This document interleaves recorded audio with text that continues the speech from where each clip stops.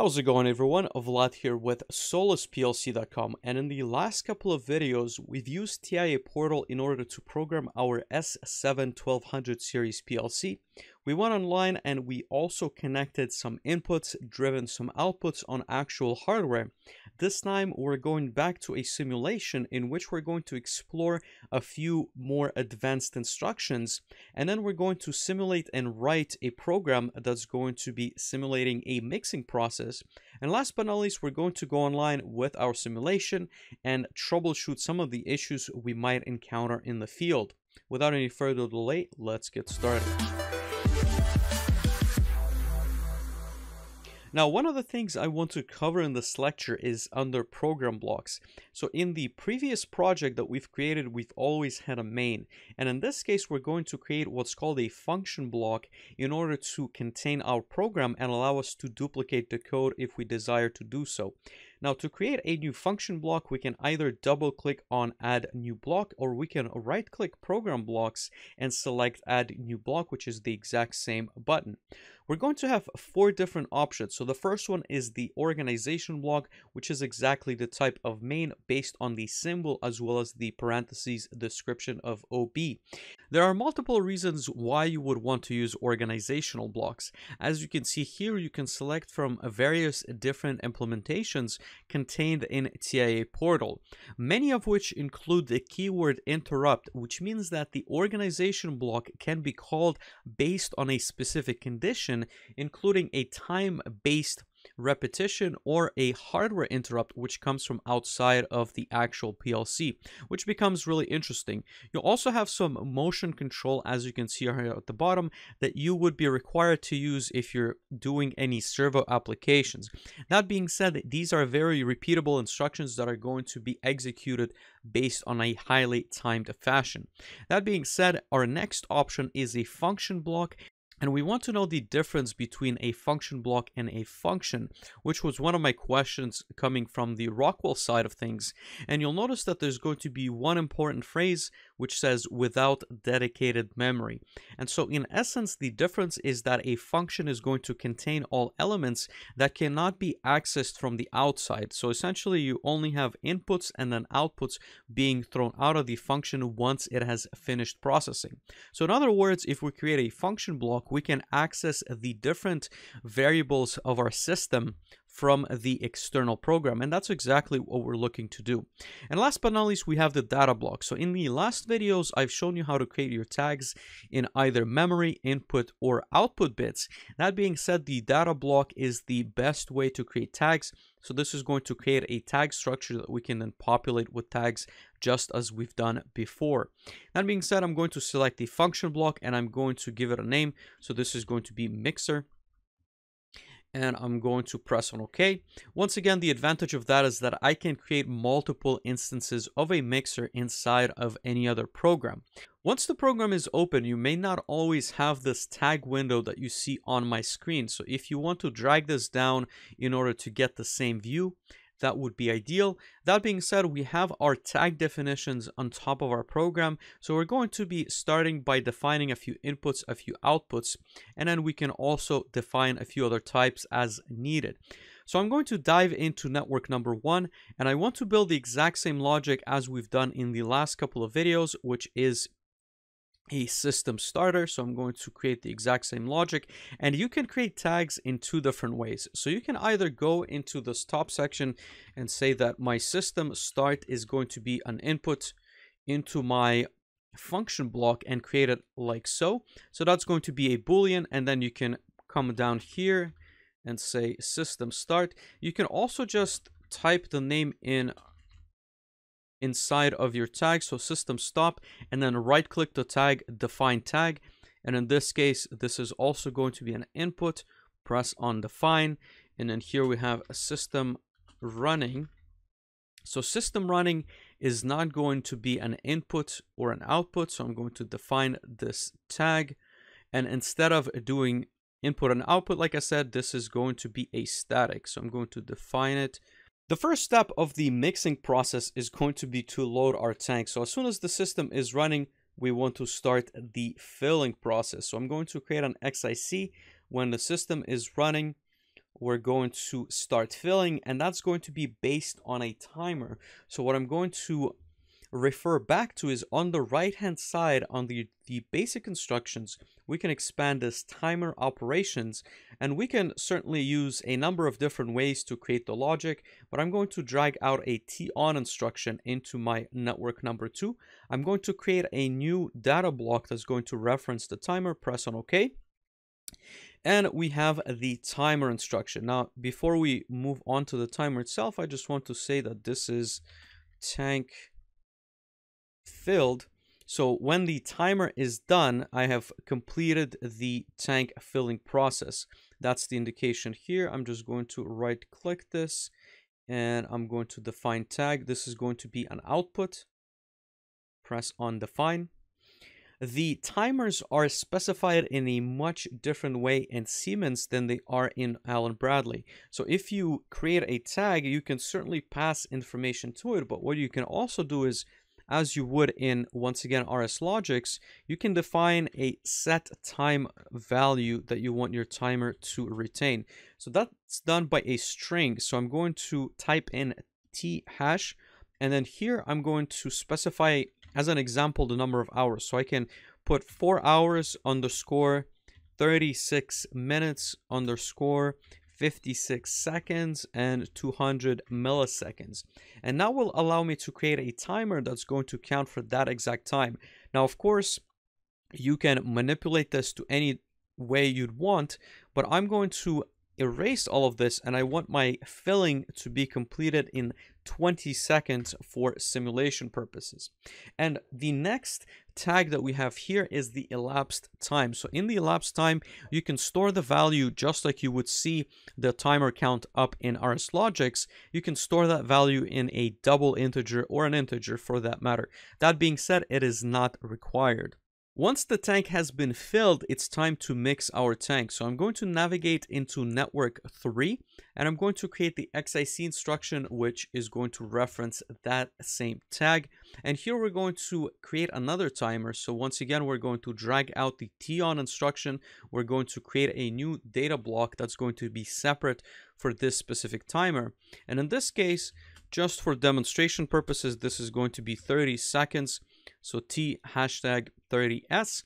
We're going to say that this is tank has been, so tank mixed.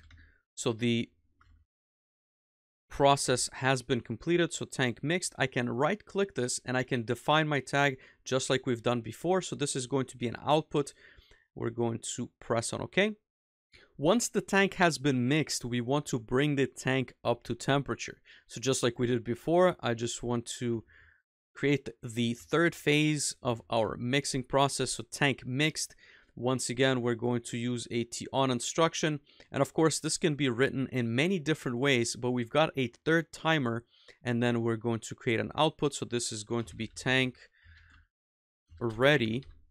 So once the tank has been filled has been mixed and has been brought up to temperature. And of course we can add some some notes in here. So t hashtag 20 seconds. Actually let's make that 10 just to create a quicker process. So define tag. This is going to be an output.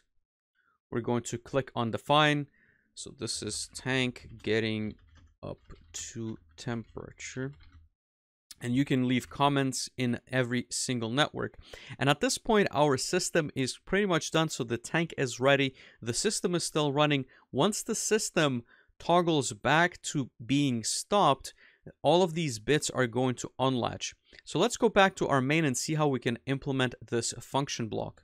Inside of main, we currently have absolutely no logic written. So what I can do is I can grab my mixer and I can drag it into my network one.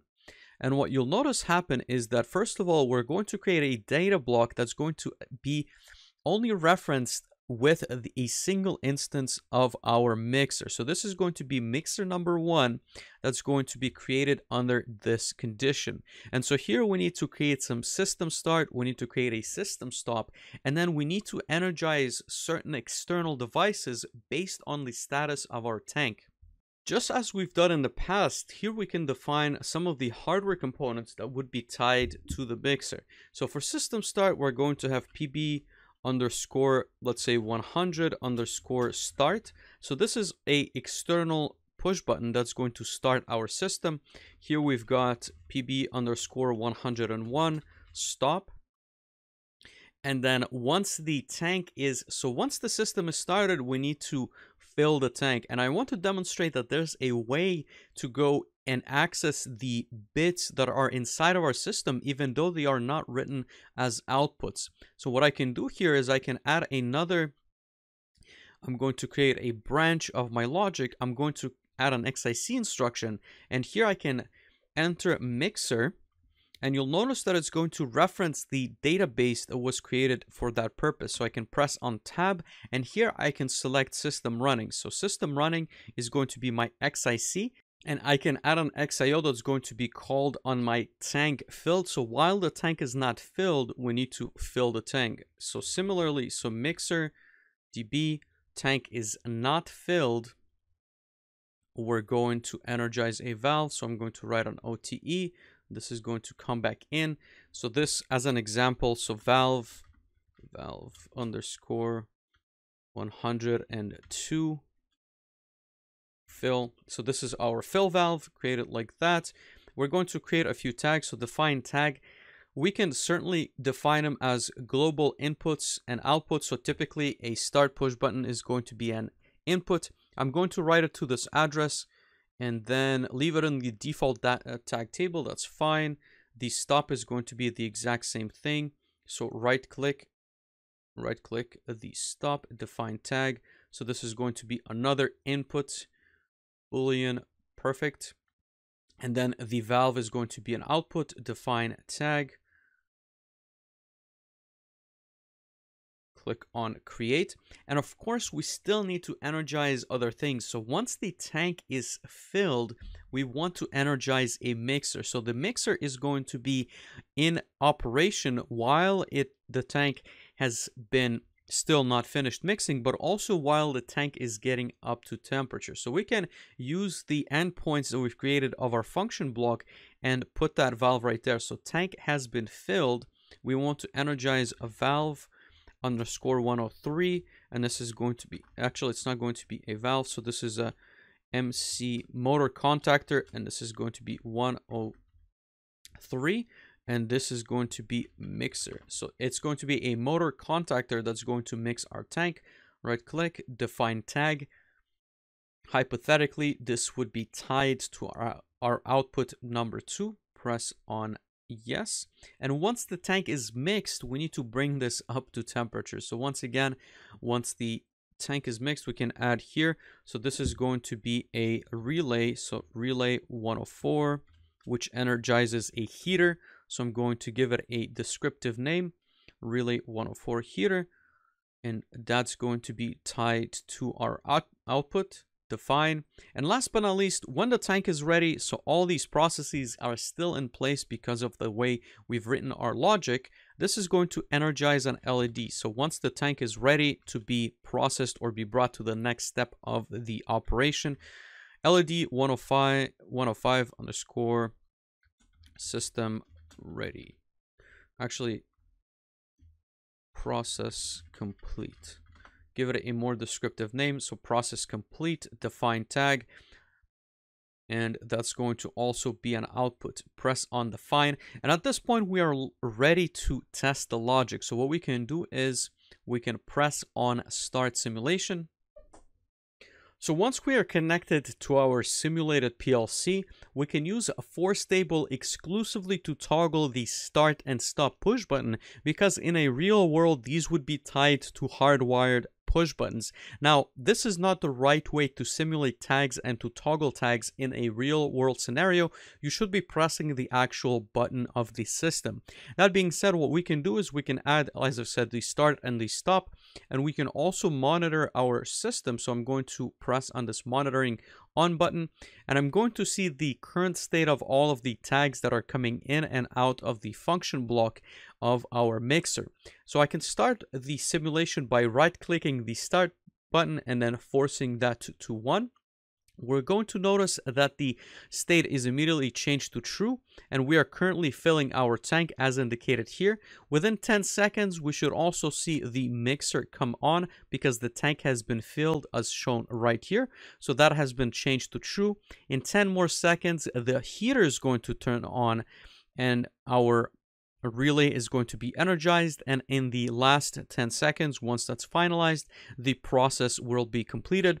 I have misspelled the led description. So that's our our process using a function block. I can then right click this and force this back to zero or stop forcing altogether and the system will be back to the original value. Now of course at this point uh, the system is going to show that it has been completed. We do need to force the stop which is going to be a push button once again pressed by an operator so we, in this case we're going to force that to 1 and that's going to be clearing our system based on the status. I can then remove forcing altogether in our program.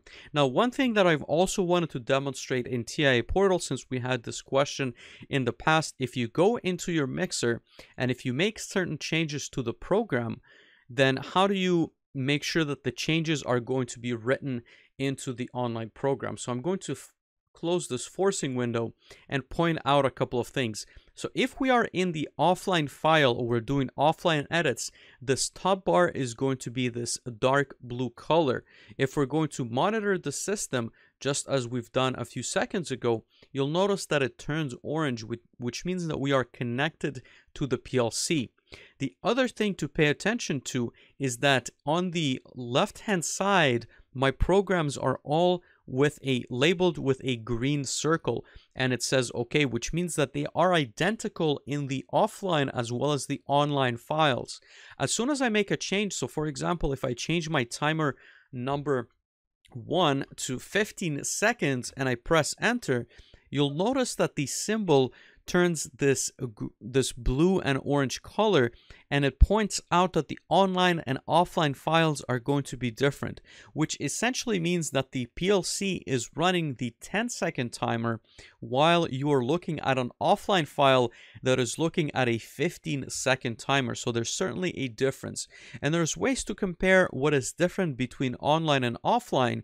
However what you want to do in order to make sure that it is the same is select that specific routine. And here you can press on download to device or you can press upload from devi device which will either load the program that you have offline into the PLC or bring the program from the PLC into your offline file. In my case I want to keep the change so I'm going to download to device and so here I'm going to press on load. That's going to double check the changes. And once again, my circle is green. And just like that, you can do anything you would desire to do. So here I can add an XIC instruction as an example. And this is going to be tank filled. Obviously, this logic isn't going to work since it's referencing the same tag it's energizing.